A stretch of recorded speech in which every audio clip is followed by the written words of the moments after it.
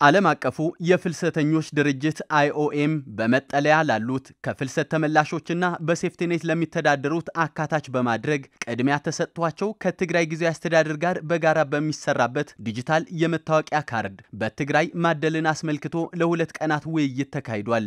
በውይይቱ መጠናቀቂያ ላይ የትግራይ ስታቲክስና ወሳኝ ኩነት ዳይሬክተር ዶክተር ገብረ ሐዋርያ ገብረ እግዚአብሔር ተፈናቅሎ በመጠለያ ስላለውና በወራሪዎች ተይዞ ስላለው ሕዝብ አስመልክተው ስላሉት ተግዳሮቶችና ጥቅሞች ይገልጻሉ። ተፈናቂሉ ዘሎ ህዝብና ቦታ ክገልጽ ተሎ እቲ ዝመፀሉ ቦታ ክገልጽ ይኽእል እዩ ተፈናቅሎ ያለው ህዝባችን በዲጂታል መታወቂያ ሲመዘገብ ተፈናቅሎ የመጣበትን የትውልድ ቀየው ማስመዝገብ ይችላል። በግልጽ ተወያይተናል። የተመዝጋቢው ሙሉ መረጃ ራሱ ተመዝጋቢ ነው የሚሰጠው።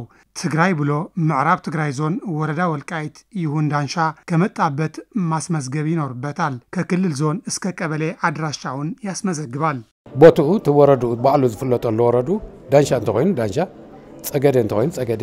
በሁሉም ዘርፍ ያሉ አገልግሎቶች ዲጂታል በሆነ የብሔራዊ መታወቂያ ጋር በመተሳሰር ለመስጠት የታሰበው ቴክኖሎጂ በመታሰቡ በዲጂታል መታወቂያ ለመገልገል መወሰን ግድ ቢሆንም መልስ የሚፈልጉ ጥያቄዎችና መፈታት ያለባቸው ችግሮች እንዳሉም ዶክተር ገብረ ሐዋርያ ጠቁመዋል።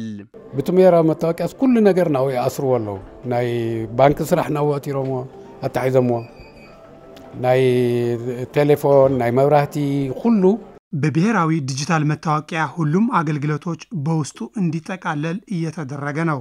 የባንክ፣ የስልክ፣ የመብራት የመሳሰሉት አገልግሎቶች ከዚህ ጋር የተያያዙ ነው። ስለዚህ ዲጂታል መታወቂያ ካልያዝን እነዚህ አገልግሎቶች ለማግኘት እንቸገራለን። ግን ደግሞ ያሉትን ችግሮች ለመቅረፍ በሚያስችሉ ጉዳዮች ላይ ከመንግስት ጋር ውይይት እናደርጋለን።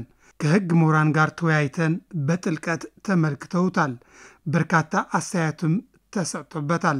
በቴክኒካዊ ችግርም መንግስት ሊፈታቸው የሚገቡ ችግሮች ለይተን ተወያይተናል። ከኛ አቅም በላይ የሆነ በትግራይና በፌዴራል መንግስት መካከል በሚደረግ ውይይት የሚፈቱ ችግሮችን ለአመራሮቻችን እናስተላልፋለን። ምስ ፌደራል መንግስቲ ዘለዉ መራሕቲ ክዘራረቡ እንተለዉ እቲ ኣጀንዳ ንስሒዞም ይዘራረቡ ንኣብነት ናይ ግዛታዊ መሬትና ጉዳይ ሓደ እሹ እዩ የብሔራዊ መታወቂያ ፖሊሲ አማካሪ የሆኑት ወይዘሮ ገብርኤላ አብርሃም በበኩላቸው ብሔራዊ መታወቂያ አገልግሎቱ ከቴክኖሎጂ ተጠቃሚነት እንጂ ከዲሞግራፊና ከማንነት መቀየር ጋር አያያዝም ሲሉ አረጋግጠዋል። ብሔር፣ ከቋንቋ፣ ከሃይማኖት ጋር የተያያዙትን መረጃዎች አንሰበስብም። እኛ የምናረጋግጠው ምንድን ነው ያ ሰው የሚለው ግለሰብ ነው ወይ ነው። ስለዚህ ከቴክኖሎጂ አንጻር ያ ሰው ባዮሜትሪክ መረጃዎቹን ሰጥቷል፣ አሻራዎቹን ሰጥቷል።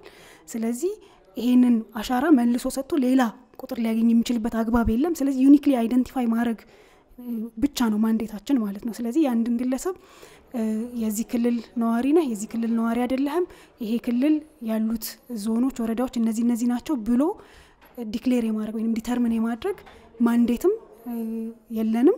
በዛም አግባብም አይደለም እየሰራን ያለ ነው። ስለዚህ ይሄ ከዴሞግራፊያዊ ለውጥ ጋር የሚያገናኘው ነገር አይኖርም ማለት ነው።